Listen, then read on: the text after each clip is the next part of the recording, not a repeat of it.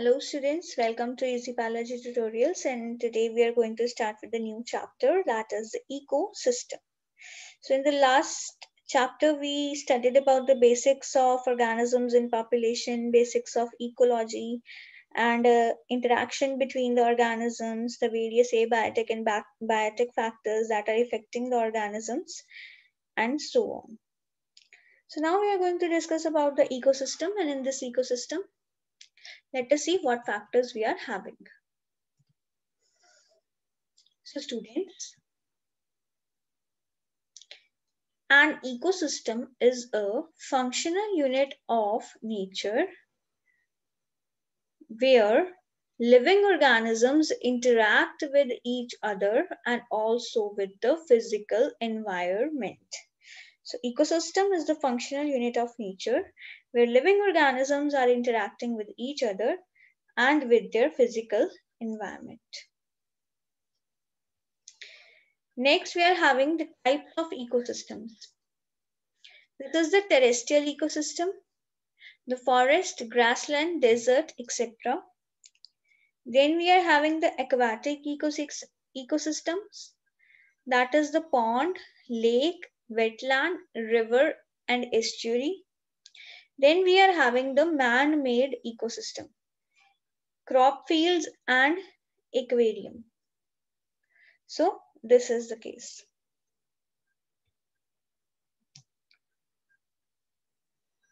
So we are having three kinds of ecosystems. Terrestrial, estuary, aquatic.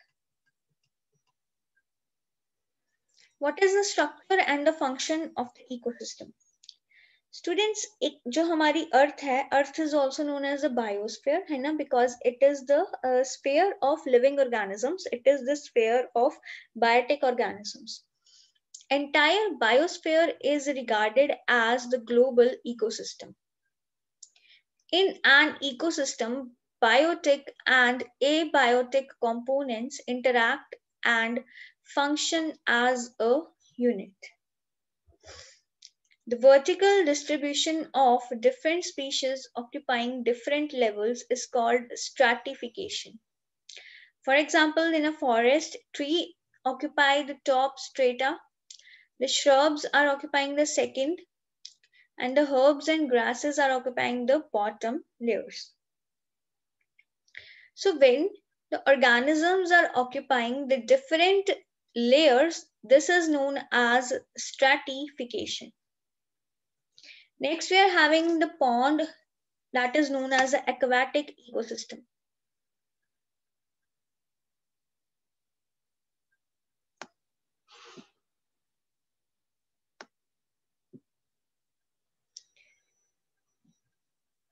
So, pond is a shallow, simple, self-sustainable water body that exhibits all the basic components of an ecosystem. In a pond ecosystem or aquatic ecosystem, we are having the abiotic components, that is water and soil deposit. Then we are having the climatic conditions, that is the solar input cycle of the temperature, day length, etc. Then we are having the autotrophic components, that is the number of phytoplankton, some algae, and the floating, submerged, and marginal plants.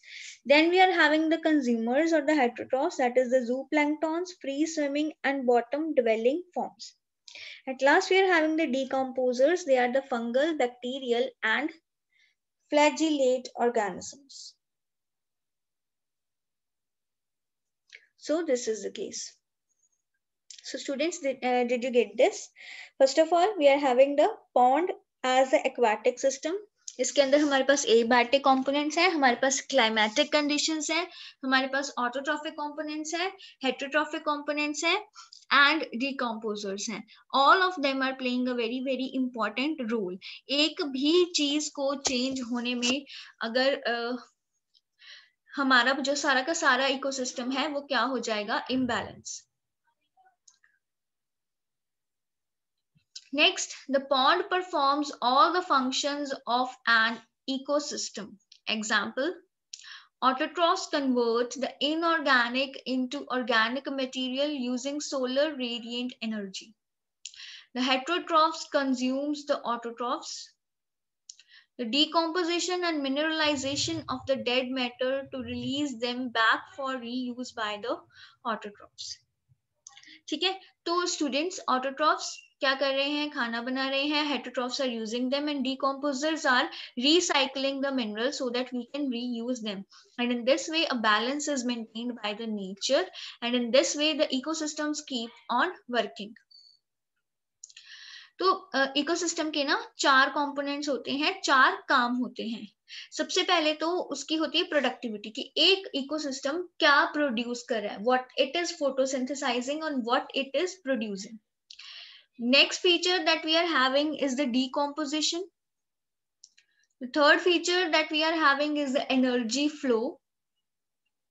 And the fourth feature of the, mm, basically we can say fourth component that we are having is the nutrient cycling. So first जो हमारे पास है that is the productivity. What is meant by the productivity? हम देख सकते हैं Solar energy is the basic requirement for an ecosystem to function and sustain. Solar energy सबसे ज्यादा बड़ी हम बोल सकते हैं दैट इज सबसे प्रिमिटिव बेसिक रिक्वायरमेंट है of an ecosystem to function and sustain. The amount of biomass that is the organic matter produced per area over time by plants during photosynthesis is called primary production. It is expressed in weight per gram or energy per kilocalories per meter square. The rate of biomass production is called productivity. It is expressed in gram per year or kilocalorie per meter per year. It is divided into gross primary productivity and net primary productivity. So this is the productivity. Productivity solar energy करवाता है and ये हमारे जो भी मैंने read किए हैं अभी this uh, these are the units of the productivity हम कोई भी unit ले सकते हैं अगर आपको कोई numerical आया you have to see it and solve it accordingly the gross primary productivity or GPP it is the rate of production of organic matter during photosynthesis. A considerable amount of GPP is used by plants for respiration. Then we are having gross primary productivity के अंदर हमारे पास क्या आ गया सारा gross amount आ गया जो भी क्या है प्रोडक्शन हो रही है नेट प्रोडक्टिविटी क्या हो गई रेस्पिरेशन के अंदर रेस्पिरेशन के according we are having some loss of resources Yo al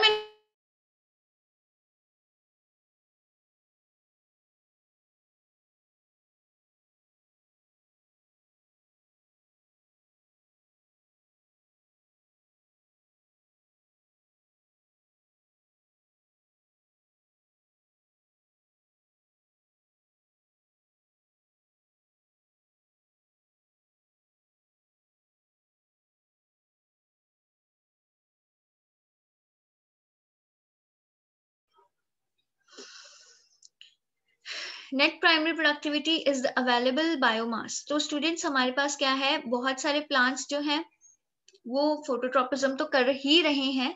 phototropism करने के साथ साथ वो क्या कर देते हैं?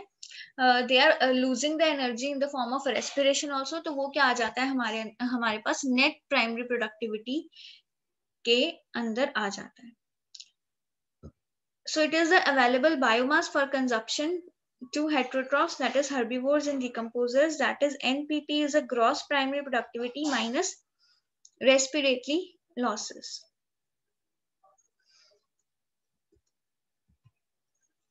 Next is we are having the secondary productivity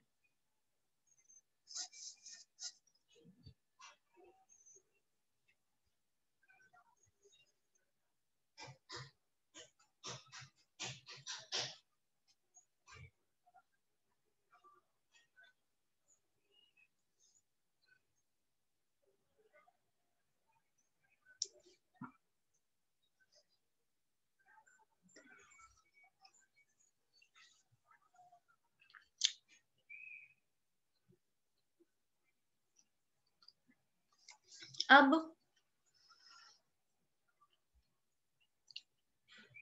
primary productivity को यूज़ करके जो कंज्यूमर्स है they are making up the more new organic material and उस प्रोसेस को हम क्या बोलते हैं? सेकेंडरी प्रोडक्टिविटी की फॉर्मेशन होना।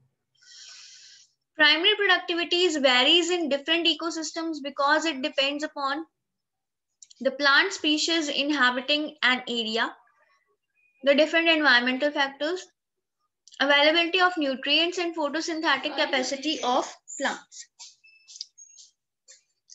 So,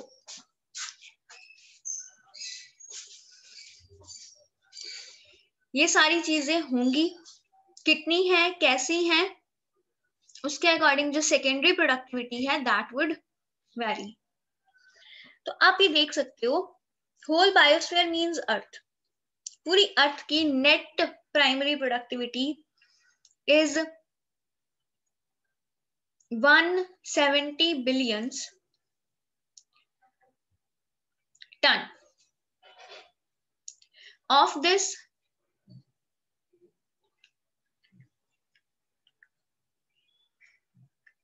Fifty-five billion tons is occupied by the oceans. So this is a star question.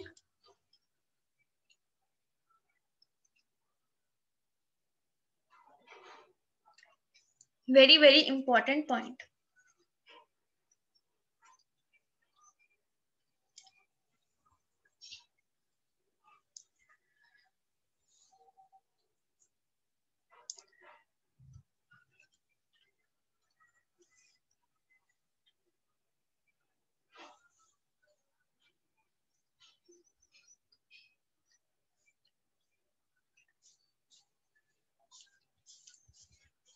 Next, we are having decomposition.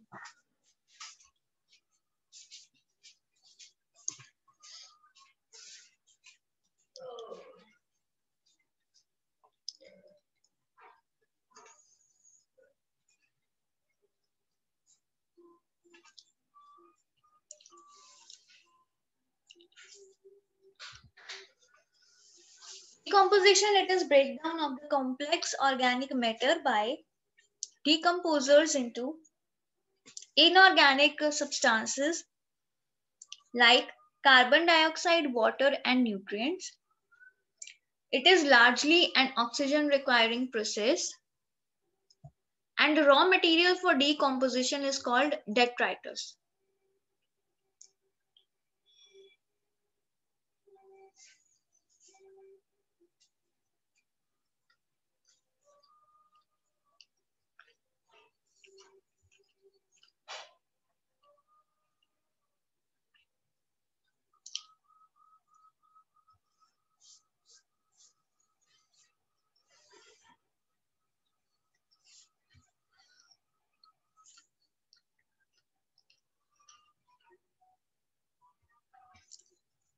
Example, dead plant remains, that is leaves, bark, flowers, etc. And dead remains of animals, that is fecal matter, etc. So this is detritus and this is the raw material for decomposition. Decomposition में हमारे पास चार steps होते हैं. First of all, the detritus is broken into small fragments and this process is known as fragmentation. Next is leaching. then the catabolism is done. Then humification is done. And at, la and at last mineralization.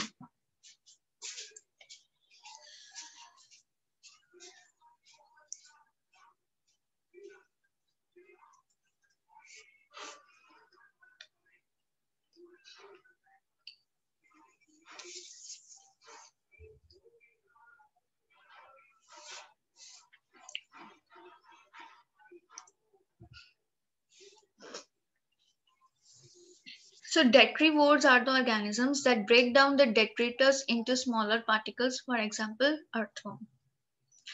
Next, leaching. Water-soluble inorganic nutrients go down into soil and precipitate as unavailable salts. This process is known as leaching. हमारे सारे पास हमारे पास जितने भी materials are under uh, they go into the soil and they enrich that soil. Next is degradation of detritus into simpler inorganic substances by bacterial and fungal enzymes. Fragmentation leaching and catabolism occur simultaneously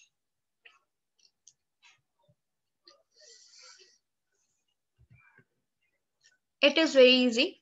Humification is accumulation of the humus. What is humus? It is the dark amorphous substance that is present in the soil. Basically, it indicates the organic matter. Humus has resistance to microbial action and so decomposes very slowly. Being colloidal in nature, it serves as a reservoir of nutrients. Next, we are having the decompose, uh, the mineralization. It is release of the inorganic nutrients due to the degradation of humus by some microbes. This thing is known as mineralization. So now we have seen that decomposition consists of these five processes.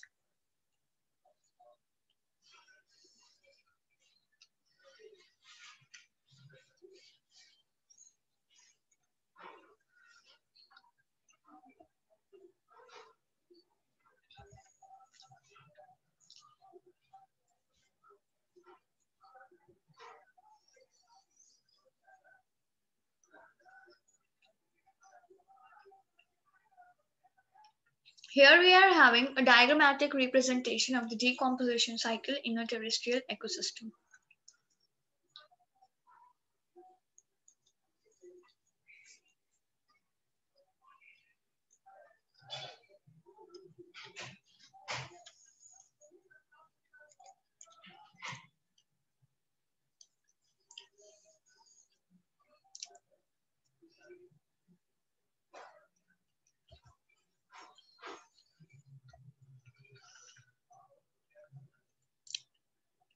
Detritus के अंदर जितना organic material होगा उतना ज़्यादा वो उसकी जो decomposition है easy होगी decomposition is slow detritus rich in lignin and chitin it is quicker if detritus is rich in nitrogen and sugars then if the warm and moist environment is present fast low and anaerobic is present then slow.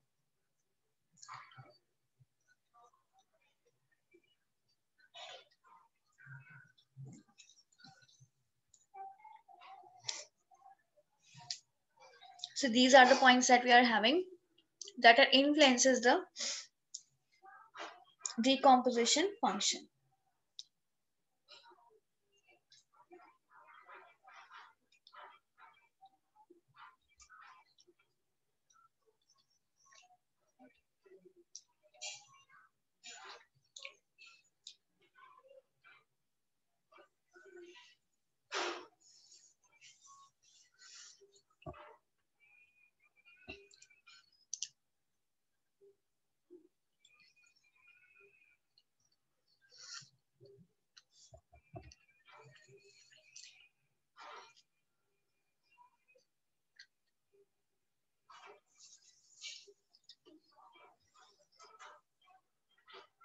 Sun is the greatest source of energy and only 50% of the photosynthetic active radiations are absorbed by the photosynthetic plants. So the chemosynthetic photosynthetic plants and other organisms are known to fix the radiant energy of the sunlight to make food. Moreover, photosynthetic active region ka only and only 10%, 2 say 10% is absorbed by plants. This energy sustains the entire living world. So you can see that the living world is so much advanced. But still, the plants are able to sustain it naturally, properly, appropriately, and in other ways also. So ecosystems basically obeys the second law of thermodynamics that is energy का constant supply होना चाहिए अगर molecules की formation करनी है so in the case of energy flow we are having the sun as the source of energy and it needs the constant supply of energy. Agar molecules ko synthesize karna hai whether they are carbohydrates fats proteins and other things. And this is also helping in counteracting the entropy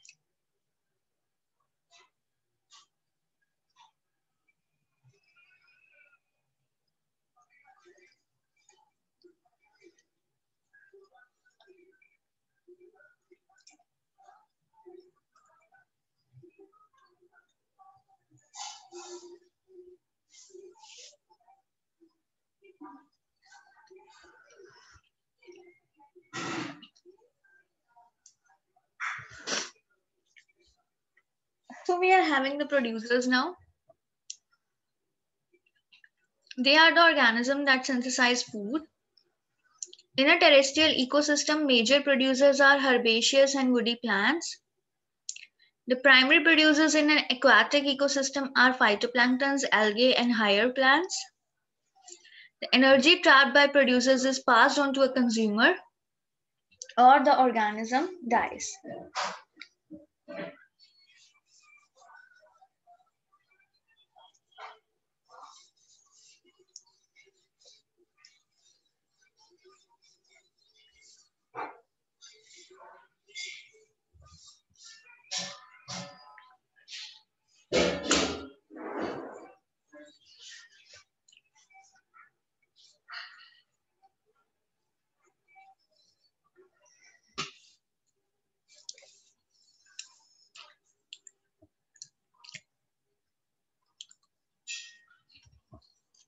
Next consumers consumers के ऊपर primary consumers है secondary consumers है and tertiary consumers है. We are having these examples and the food chain food chain का क्या मतलब है? It is direct flow of energy horizontal और linear flow of energy but food web एक interconnection होता है. Basically food web consist of the network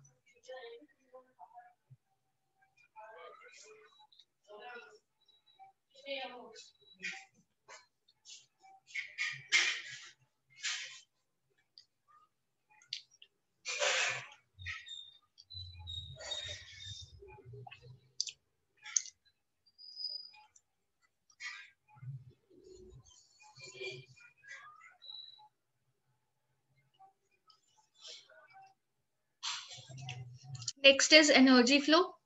The chain of feeding relationship between different organisms is called the food chain. The food chain is of two types, the grazing and the detritus.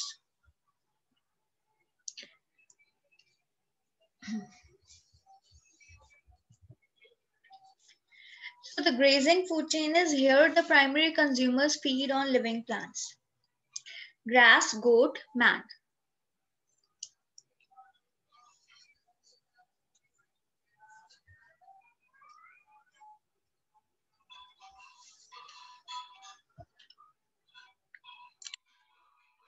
And detritus food chain, here the primary consumers feed on the dead organic matter, that is the detritus.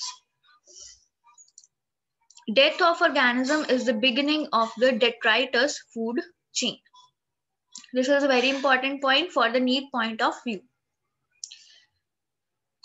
Next is detritus is made up of decomposers that is saprotrophs such as fungi and bacteria these kind of organisms are secreting various digestive enzymes that are helping in breaking down of the detritus into the simple inorganic materials.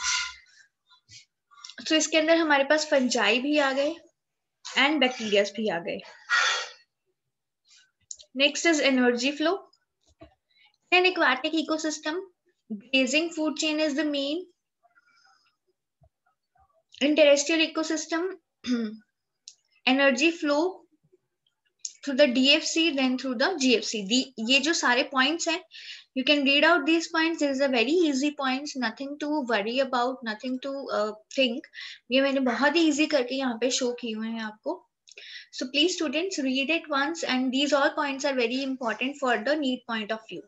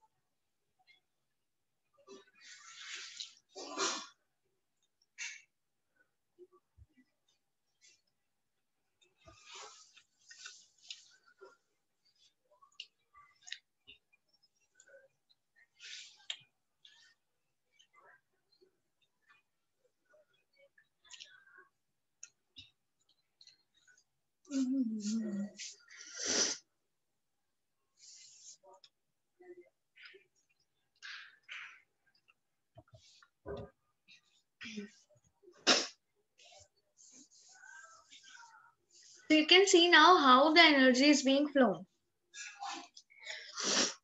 It flows from the primary producer to the consumer, to the secondary consumer and to the tertiary consumer.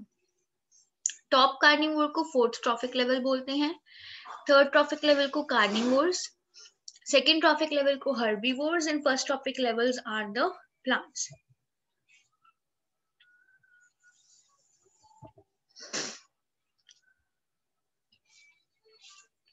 sun is the main source of energy, that is heat. First trophic level producers are the plants. Second trophic level, primary consumers are herbivores. Third trophic level, that is secondary consumers are the carnivores. Fourth trophic level, that is tertiary consumers are the trop carnivores. So energy flow through the different trophic levels take place in this way.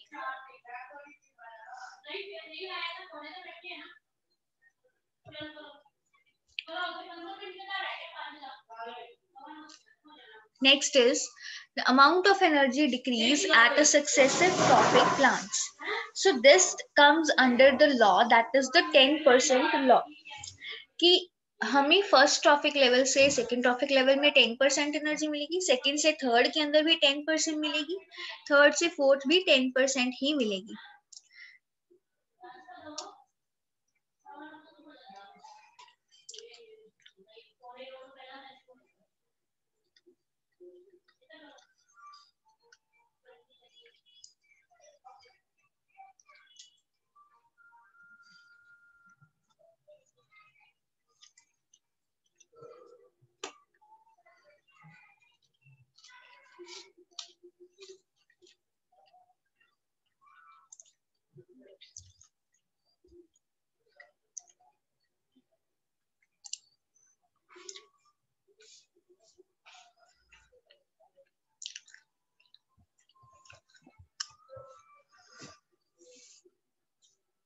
So at each trophic level, we are having some source of energy.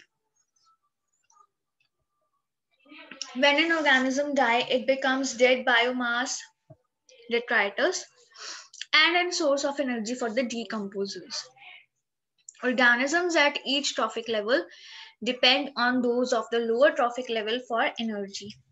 And at last, we are having the amount of living material in a trophic level it's called the standing crop tree. ye sari definitions bahut zyada important hai and it is measured in the biomass. Biomass is the living mass or the number in a unit area. Next is we are having the biomass of a species is measured in the terms of fresh or dry weight. Dry weight is more accurate because it is the exact mass of the body and it remains constant but जो wet weight है वो water के uh, amount के according क्या होता रहता है vary होता रहता है and flow of energy is according to the 10% law which one is the 10% law कि हर ट्रॉफिक लेवल पे जो एनर्जी ट्रांसफ़र हो रही है that is 10% only 10% of energy is flown at each trophic level So, okay, students, that was all about today's class. With this, we have completed our today's topic. Thank you and have a nice day.